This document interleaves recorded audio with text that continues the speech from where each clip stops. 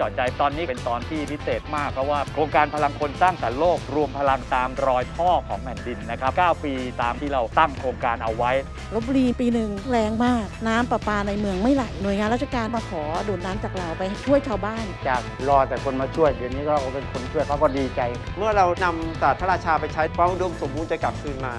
9ปีสร้างคนเชื่อมโยงกันเป็นพลังได้ ขนาดนี้เป็นความมหัศจรรย์มากจดใจคืนวันเสาร์นี้